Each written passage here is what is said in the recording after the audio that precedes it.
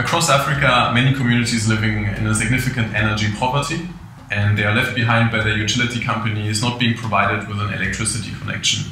So in the past decade, we have been seeing a lot of solar home systems going into the sub-Saharan African markets. What we see in our data, as we are also a solar home system manufacturing company, is that a lot of those systems daily have an excess of energy which could be easily shared with the neighbors. With our DC microgrid technology, we are allowing the customers to share their excess energy with their neighbors and even benefit financially from it.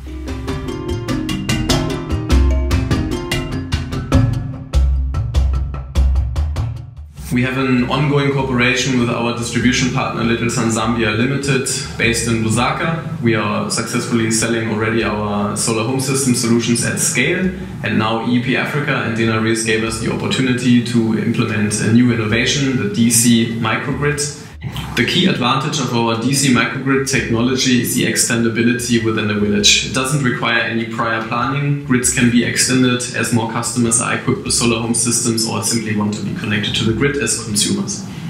A secondary benefit of the grid is that it's operating at voltages below 100 volt, which is considered low voltage and therefore it is not hazardous. It doesn't require technicians to be specially skilled for the installation of the grid.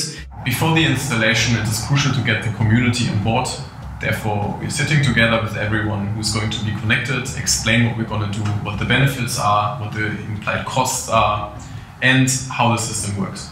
Now that the entire community is interconnected, villagers can benefit in various ways.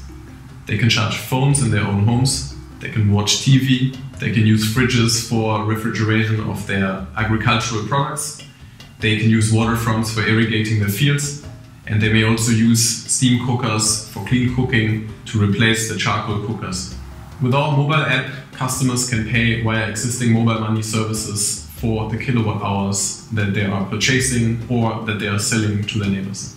Due to the high degree of decentralization, we are dropping the connection cost to around $120 compared to $1,000 in a regular AC mini grid. Secondly, the customers are now put into a position to make additional money from their systems by selling surplus energy to their neighbors.